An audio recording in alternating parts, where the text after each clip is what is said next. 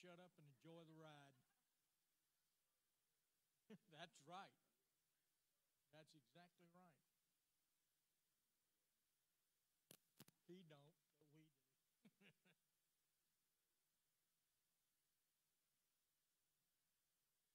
Y'all want to stand with me let's pray and just adopt an attitude of prayer for a moment.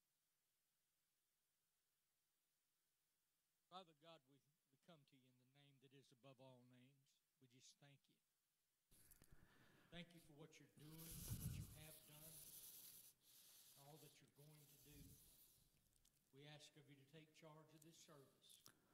Come be our guest. Without you, it's just a social event. With you, all things are possible. Ask of you, Lord God, to lead, guide, and direct uh, Brother Jimmy tonight, Father God. Anoint his lips with coals of fire straight from your.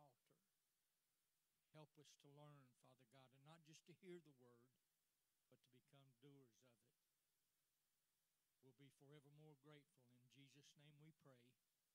And the church said, Deal. Well, first of all, thank you for coming out on a Wednesday night. And uh, we just finished up our series on uh, how to respond to the promises. And th- this is not a, a long teaching, uh, maybe a couple weeks, uh, maybe two. I want to keep it fresh on our mind. Uh,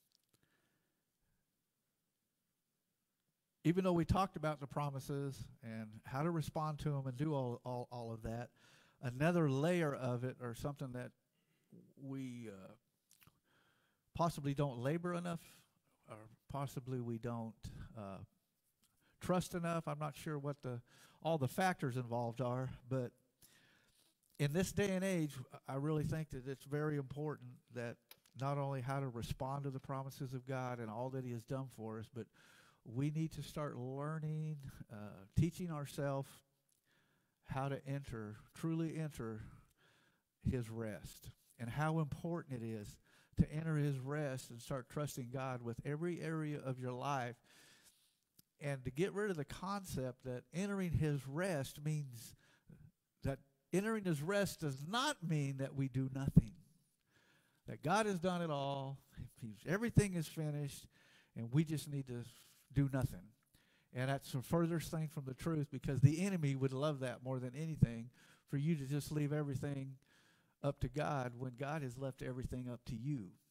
He's given you a free will, He's giving you authority, He's giving you everything and commanded you to go ye into the world and, and share the gospel and to be a light into the world, told you to do all these things. And then you're going to sit back and you say, Well, I'm just going to enter his rest. And that's not what it means. So I want to try to get a good, clear understanding of what it is to enter his rest. How do we know that we're entering his rest? And uh, that's kind of where we'll where we'll go tonight. Probably won't be real long. I usually don't when I when I introduce something new. And the scripture I want, and, and instead of saying enter his rest, uh, I, I wrote down a few few statements, and how to obtain or receive what's already been done or made available by faith versus I'm going to say this twice versus using your faith to get God to do something he's already done. Okay? So let me read that again. How to obtain or receive what's already been done or made available by faith versus using your faith to get God to do something he's already done. And that's kind of a contrast and, and that's two that those that statement is, is two different things. So we're going to start we're going to our scriptures that we're going to start with all day or all this evening they're going to start in Hebrews 4, and it starts Hebrews 4 and verse 1. And we'll go through these kind of one by one by one. It says, Therefore, since a promise remains, now remember, this is the this is the New Testament. This is not Old Old Testament teaching. Therefore, since a promise remains of entering his rest, let us fear lest any of you seem to have come short of it. Now, the word fear here. What do you what do you I know I said one of my one of my goals that I put forth at, at our last, uh, what would you call it, leadership meeting, I guess. Anyways, one of my goals was to somehow to get more involvement. So, with that scripture, why what application do you think that fear would would be? What kind of fear is he talking about? Okay, he says there remains a promise, okay? And you know, the original promise was to the Israelites. They were they were to enter that God spoke. So see, we're going by God's spoken word when he gives us a promise. Here he was given a promise to the Israelites. He says, "Go possess the land." But they did not enter that rest that he had for them because of the obstacles in the way, which they should have ignored, but and hung on to what God told them. In other words, God said, "Go possess it." They should have went and possessed it, but they had all these excuses of why they couldn't. So He says, therefore, since they didn't enter the rest, there's another promise that we can enter a rest. So, what would the fear part be? What do you think the fear part would be? Be afraid or, or be fearful that you can miss everything that God has for you by not entering the rest. Because see, they didn't enter the rest, the Israelites. So he's saying, be fearful that you can miss out on so much that God has for you if you don't do this. If you don't enter his rest, I, I'll, I, I'm going to keep this in hand here. It says, Therefore, since a promise remains of entering his rest. So here's a promise. All of you now can enter his rest, okay? You can all enter his rest. Let us fear lest any of you seem to have come short of it. In other words, don't miss out on it. Don't don't not enter his rest because of unbelief. Don't not enter his rest like the Israelites. They missed out on so much they could have had. And all they had to do was believe what God had said and go do it. So God is telling you right here there's a promise of a rest that remains for my people. And don't don't miss out on it. All right, go go to verse 2. We'll just kind of slide our way through these.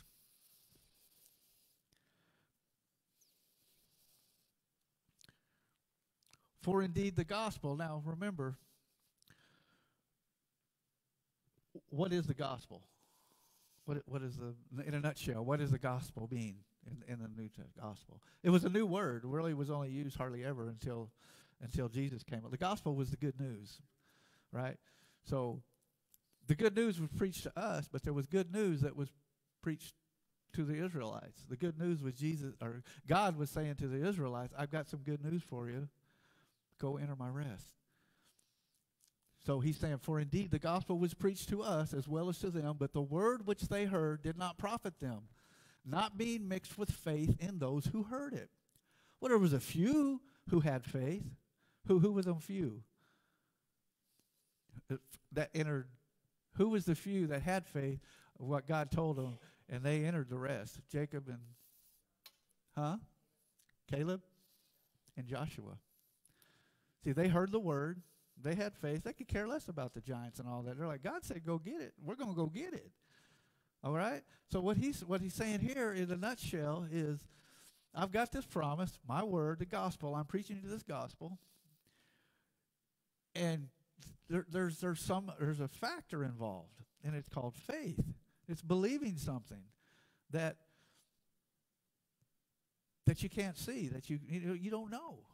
You know, uh, what you have to know or what you need to know is is that he said it. So uh, it's important that we learn how to enter enter uh, enter his rest. Uh, I had I'm going to rely on my notes a little bit tonight. I haven't done this in quite a long while as far as this this teaching. Uh, along with Hebrews four Hebrews four one is uh, the fear part is we don't want to miss out on it. Uh, fear is used to be cautious, be aware, be diligent, not to miss out on the provisions already made available to you. Be diligent to take advantage of the provisions. Don't let it pass you by. And then, uh, you know, the, the, the being pro- proclaimed. How many have heard the message, the gospel message? W- the gospel. Remember, the gospel message is the good news. We have to get, you know, uh, understanding the concept of the gospel. Uh, never been done before. In all, all of creation, all the thousands of years, something new was happening. This was all new to people. That we were going to be taken out of the equation as far as receiving, as far as getting, as far as being able to operate. Uh, everything, th- the good news was this isn't about what you can do. This isn't about what what you have to achieve. This is all about you trusting this good news, this gospel news, trusting that if you will surrender to Him and trust Him, He's going to give you this, this gift. For your salvation, when you all received your salvation, what did it cost you? Nothing. What does the, what does the word tell us about how how do we receive this this free gift? What what's our part in it? To receive the gift of salvation. I believe it's Titus 2. He says the, the grace of, of salvation has been it's been given to all men. It's been it's been given. So what do we got to do to receive it? What's our part? What's our part? Come on, help me out. Huh? Believe. So, in other words, in other words, Jesus says, "I got this great news." Right? He's saying, if you want it, it it's free. It's not going to cost you anything, but there's something you must do. There, there is a part we have, and it, and it's the believe part. And then once you do surrender your life, then it's the trusting part. And you know, religion has always told us and taught us that uh, everything that you get is is is earned. In other words, if I'll pray more, if I'll do this more, if I'll do this more, is it is it beneficial to play more, pray more? Absolutely. Is it is it? I mean, pr- in prayer, prayer is communicating with. It's not long drawn out. It's not proper word use. When you pray, you're just you're just taking time out of your day to talk to your heavenly Father. It's conversation. You can pause and you can listen. It's just it's just open and there's no set guidelines and rules of how long. But there should be a line of communication between you and and if you're going to get to know someone, you got to communicate. And that's all that's all prayer is. Titus 2:11. What does it say? Oh, don't let it go. I missed out on it. For the grace of God that brings salvation has appeared to all men. So why aren't all men saved? Why isn't everybody jumping on the on the bandwagon? If the grace of God, and what's the grace? What what's grace? I mean, if, if the scripture says the grace of God has brought salvation to all men, what's grace? Come on, people. Yeah, right. Undeserved. Un, it's, it, and the best way to do grace is learn the mercy part. So, uh, people say, "What's the difference between grace and mercy?" Okay, so here you go. This is the best way I know to tell you. Mercy, God's mercy, is not receiving what you do deserve. Right? In other words, His mercy is you deserve this, but you're not going to get it. That's His mercy. And then grace is receiving what you don't deserve. Those they're polar opposites. People say grace and mercy go hand in hand, and they kind of do, but they mean two different things. His mercy is not receiving what was due to you. So that's his mercy saying, okay, Hunter, this is what you deserve, but my mercy says no. You don't. My mercy's going to take care. No, I'm not going to. I'm not to do it because my mercy. And then grace is you saying, receiving everything that God has for you, all of the, His goodness, His blessings, His His healing, His His provision, His His abundance, everything that He's got for you.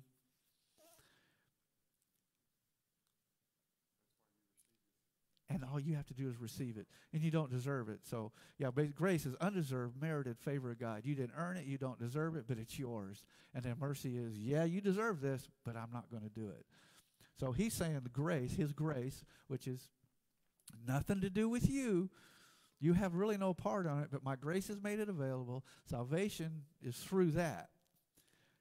And my, my point was, what's your part? It's just it's receiving it.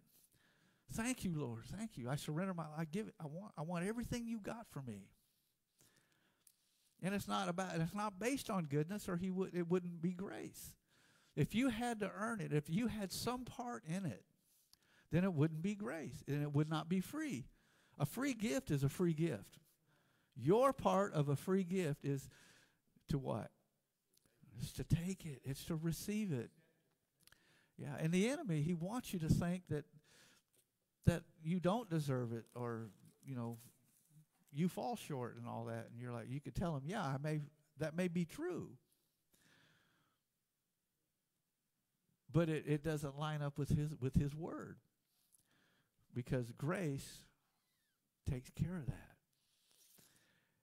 And, you know, uh, I believe it starts in about Hebrews chapter 8 and around verse 7.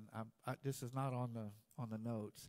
But it's where he says that the Holy Spirit, under this new new covenant, when we when we surrender our lives and we're filled with the Holy Spirit, that it will teach us and lead us and guide us, and that we won't need our neighbor to tell us that, that we'll know from the inside. He'll be our teacher. Uh, that's the part that will change you that that trusting the, the, the leading of the holy spirit and you know and i've done this before but uh, i'll use christian as a as an example here pick on him a little bit but uh, if you if you was to sin or whatever you're not happy about it are you you're not like oh i'm glad i did that I mean, how many Christians really that love God, that have surrendered their life, they go do something they know they're not supposed to do, get all excited and happy. Boy, I'm sure glad I went and did that, man. We're not. Now, if you are happy and you are glad and you're like, boy, I can't wait to do that again, you got something wrong. There's no conviction there. Because if, you know, if, if, if, he says if your heart condemns you, it's you because he's not condemning us, but there's a, there's a convicting part. I believe if you're born again and you have any kind of relationship with the Almighty, you know when you're not being very pleasing to God. You know it. And guess what? He's made a provision for that, hasn't he? Yeah, he's made a provision for that. He has put the sin on him, and he has taken care of it. His blood has taken care of it. He has made a way. But it's when your when your conscience becomes seared and you no longer feel guilty for your actions. That's when you're headed for trouble. That is when you're. But as long as you're being convicted and, and the Holy Spirit is dealing with you, and, and and you can never be an overcomer unless you overcome things, and we'll overcome things our whole life.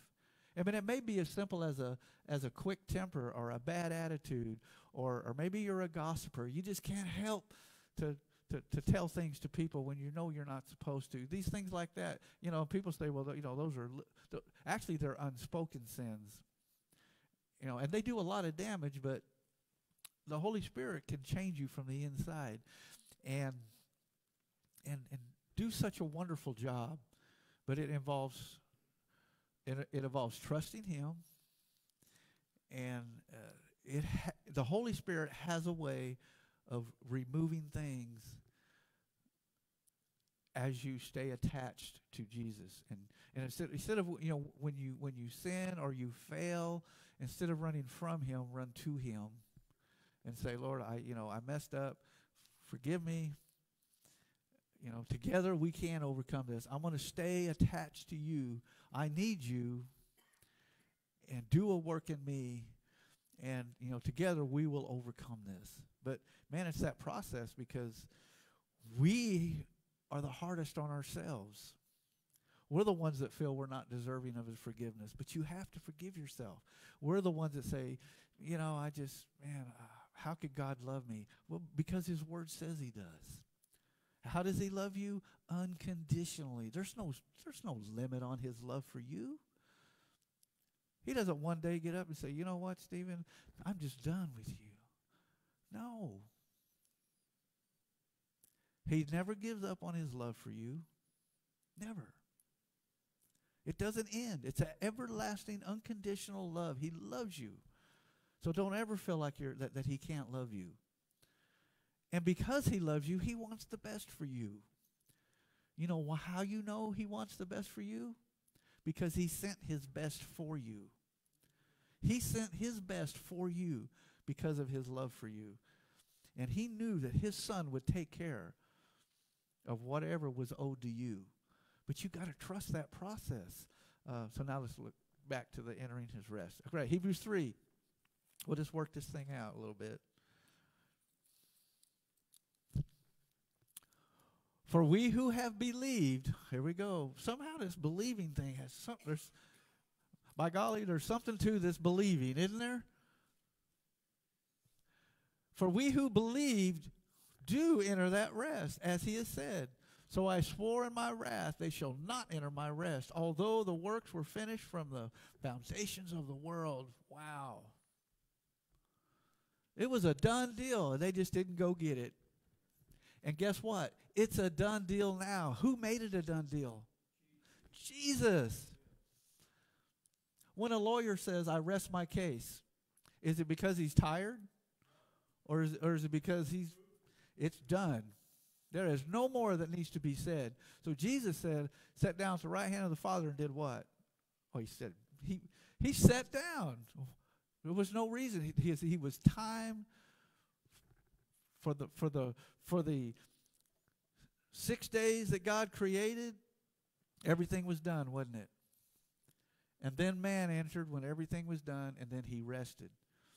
All right? We're at a point in time when when 2 Corinthians 5:17 came along. When that happened, it's not on my notes. When 2 Corinthians 5:17 happened, new people walked the planet that had never walked before. Because the Holy Spirit used to come upon people in the Old Testament. The Holy Spirit could could could could you know be around somebody. But when 2 Corinthians 5:17 happened, new people walked the planet of the earth that had never walked before. On a day of Pentecost, when the fire came down from heaven, something happened that had never happened before. Men were filled with the Spirit of God. They were a new creation that had never walked the planet before. A new covenant was established. A new way to do things was established. And in Hebrews 8, if you start at Hebrews 8 and 1 and you read through the whole thing, he tells you that that that established a, a new way that we operate. That's all about the new covenant. And you go to Hebrews 8 1, it lays it all out that if the so therefore, if anyone is in Christ, how many are in Christ? How many received Jesus Christ as their, as their Lord and Savior? Believe in your heart, confess with your mouth. Confession is made unto salvation. Okay? He is a new creation. Old things have passed away. Behold, some things have become new. Huh? All things. Hmm. And that stands true every morning when you get up.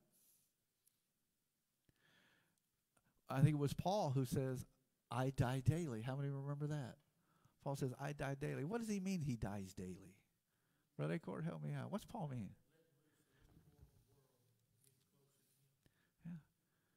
He, he's laying, he's uh, that old guy that happened yesterday. I'm getting up in the morning. Today's a new day whatever happened like yesterday, I'm forgiven of it.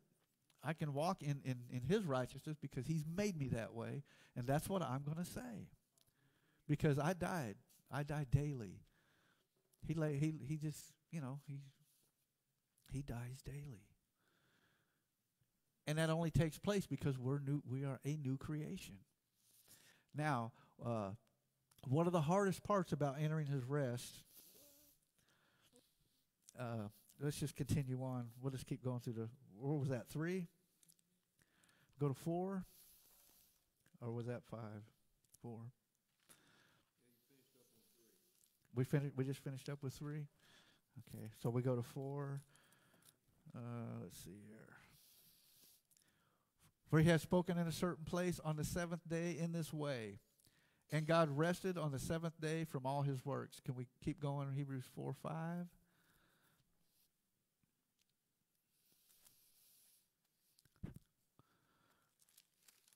And again in this place, they shall not enter my rest, since they didn't, since therefore it remains that some must enter it. And those to whom it was first preached did not enter because of disobedience. And then I think we go into seven. Yeah.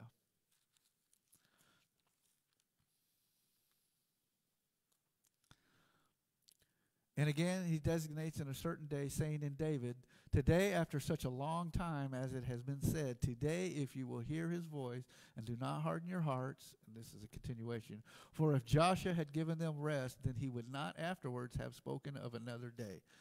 Now, this is like 400 years later that David's saying this. I think it's around 400 years. So, why would David make that statement? Because there remains a rest. There remains a promise of a rest. But who has to enter that rest? Who is it that must enter that rest? Tiny, you got to enter it. I can't do it for you. God is not going to make you enter his rest, but his word says, enter my rest. Enter my rest. And then, he also says, it's labor to enter his rest. Well, what's the labor part? What would be the labor part? Because as soon as you say, God, I'm going to enter your rest, I'm going to trust you by faith, I'm going to stand on your word. I know the circumstances, I know the giants in the land are there, but your word says this. By faith, I'm going to stand on that. I'm not going to look at the circumstances. I'm not going to worry about how I feel. I'm going to look at God's word and I'm going to trust you. And the, the minute you do that, the enemy will hit you from all sides. He will put in your head. He will attack your body. He will attack your what you're hearing, what you're seeing, your circumstances. He will he will try to change and get you off so you won't enter his rest. Because God when you're at rest, God goes to work. When you're meddling, he stands back and says, "Well, You've got my word. You've got, by faith, you can speak my word. You've done your part. You spoke your word. You stand your ground. You're going to trust me. I'll send my peace while you're going through the process. And then the enemy's going to hit you with barrages. And that's when you stand and you, and you say, no. His supernatural word, his supernatural seed will produce fruit if I will not back down. I'm not backing off the word. I don't care what you hit me with. Send the enemy packing. I'm going to enter his rest. And when you enter his rest, he goes to work and he makes a way where there is no way.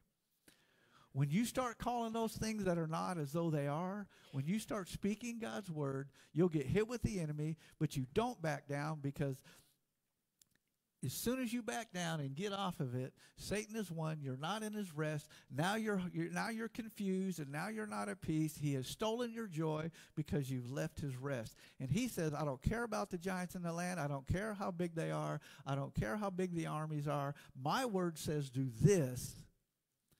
And if you'll do what my word says and stand on it and enter my rest like the Israelites were promised, I can go to work. And I will say that again. If you go to work and try to meddle and, and, and make things happen, then God backs off. You're going to do exactly what Abraham and Sarah did when you start meddling. God said, I'm going to make you the father of many nations. He didn't say you two were going to come up with a plan and do it. There was no plan B. He said, I'm going to make you, you will be the father of many nations. That was the supernatural seed. He spoke it. You will become. But guess who meddled? Abraham and Sarah meddled. And look what happened. If they'd have just stood firm and said, you know what? He said we're going to be it, we're going to be it. Right? He doesn't need your help. What he needs you to do is to speak his word, right? And then when you speak his word, you don't back down.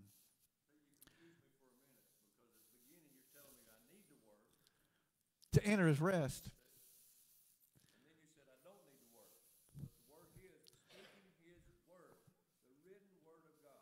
And Yeah, and and when the enemy hits you, you, you, you go back to the word. Go back to the word. That's always your source. Because Hebrew, yeah, Hebrews four twelve says the word of God is quick and powerful and sh- sharper than any weapon or sword you may get, and it pierces through the division of soul, joints, marrow, and spirit, and is a discerner of the thoughts and intents of the heart. His word does all that, and it really does. But the key is when you enter his rest to believe what he says. You know, that's the thing is they the Israelites were given you got to remember when when God spoke to them and told them to go in and, and possess he said go possess the land. Right? He didn't say go possess the land unless there's giants in it. Go possess the land unless there's big arm, you know. He just said he in other words he doesn't lay out all the scenarios. He says go possess the land. The obstacles are irrelevant. See, and that's what Caleb and J- Joshua knew. They're like, man, they're like grass. They're nothing to, to God. He said, go possess it. We're going to go possess it. Oh, okay, if he says something in here, you need to take it at what he says, and you're not basing it on your feelings. You're not basing it on, you know, and it's kind of like the the the you know we're to love the Lord that God with all our heart and all our mind and our soul and our neighbor as ourselves, and we're to love as Jesus loves. We're to love. We're that's we're we're told to do that. Well, actually, we're commanded to do that. Out of all the things He could have commanded us to do, that's the one he th- thing He did, right? So if somebody hurts you with with words or for whatever, that would involve your feelings, wouldn't it? But see, we're not basing our response to that individual by our feelings. We're basing it our response to that person or how we're going to deal with that person through God's word. And if God's word says you're to love that person, it says love your enemies, those who despitefully use you, those that stab you in the back, and, and, and we're to love that person. And when you do that, okay, Lord, I'm going to need help, kind of like the disciples when, when he said, How many times do we forgive our brother? And he said, Seven times, seven. In other words, you're going to forgive them when he, what? And they're like, Lord, increase our faith. Right? So, Lord, increase my faith. I'm going to love you even though you did me wrong. And when you love them, when they do you wrong, it releases you from it. The peace will come in, and now you've turned it over to God, and He will do a much better job of dealing with that person than you. He doesn't want you to get involved, He wants you to, to love that person. You may be the only thing that, that, that stands between Him and Him and or her in salvation in getting their I mean your ultimate goal is don't care how bad of a person they are, you would love for them to be saved. I mean that's that's truly the ultimate gift and and people in the world are looking at us. Do we get mad? Or do we say, okay, I'm, I'm, not going to react based on how I feel. I'm going to rea- react based on the love that I should have for that person. Now remember, in Romans 5 5, it says, when you are born again, when you are saved, that the love of God is shed abroad in your heart. The love of God is shed abroad in your heart. So it's it's there. It always is there. So, you know, when you're feeling that way, uh, you know, when a person's really getting under your skin, how many got people that get under your skin? Come on, we all do, right? And you can say, Tiny, you can say, you know what? When I got saved, the love of God was poured in my heart. It was shed there. And Lord, I want you to help me to love this person. Because I, I know it's a supernatural love that the world doesn't have. You have the ability to love unlike the world because it's a supernatural love that only comes through the Holy Spirit that He put in you. That's another part of what makes you special. Is that is that love that He's put there? So with the you know this is yeah kind of an introduction that w- may only go a couple weeks. Uh, I, I kind of need to cut it just a little bit short tonight, but uh, study all you can on entering His rest, and huh. Verse 9, there remains therefore a rest for who? Them who are born again, those who there is a rest for every one of us here. How many would love to enter God's rest and trust Him and say, you know what? Uh, Did you know that that worrying will not make you any taller? That's what the Bible says. You know that? Oh, it says you won't. It won't make your stature. It won't raise uh, one one one statue. Yeah, it won't you any taller. Uh, yeah. Uh, wor- worry is is a uh, it's just it's faith in the wrong direction. Yeah.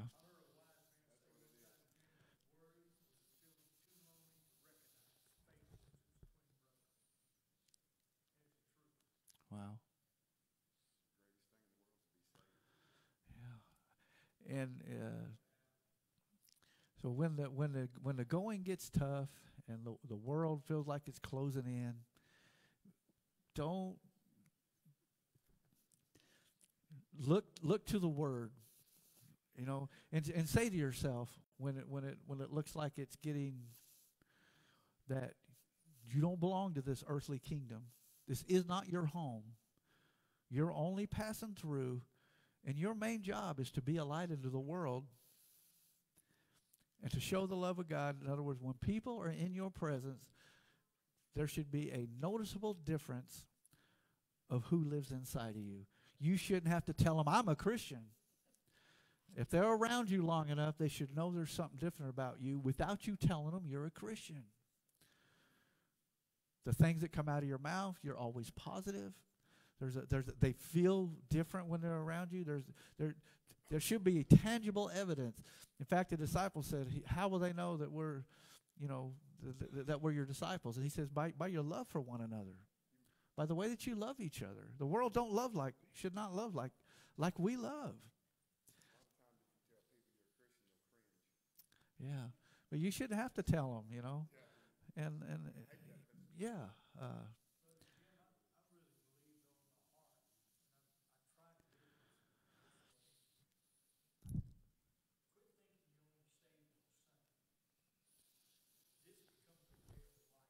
yeah. Yeah.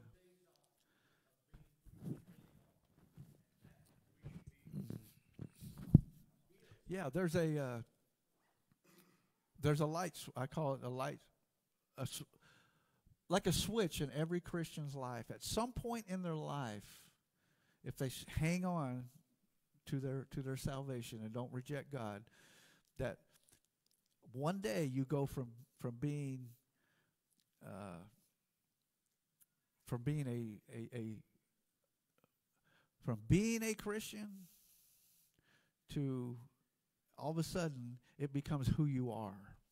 It's just who you are. It's not something you do like yeah, I'm, you know, I'm a, like you said on Sundays whatever. It's being a Christian is something you do and then one day it just becomes who you are. It's so it's just you know it's second nature that it's who you are now. There is no set aside time for for this and that. It becomes who you are. You arrange your day, you know, things you, your life is is is is is who you are. And once you hit that point, that that's when you uh, I think you can really become an effective uh, warrior for for God that that you've you've matured enough and it, it's who you are now. You know, it's not something you do. When being a Christian is something you do, that light switch hadn't went off because one day it just consumes you and it says it becomes who you are, and I think that's a good thing. So uh, we'll pick up next next week. Uh, have a blessed rest of the week. Uh, I know we really need rain bad, but we got rain coming in tomorrow. The ground is cracked and dry. We had got no rain. We need some more rain, right? Yeah. We got rain coming. Uh, I love you guys, and uh, just just get us get us next week.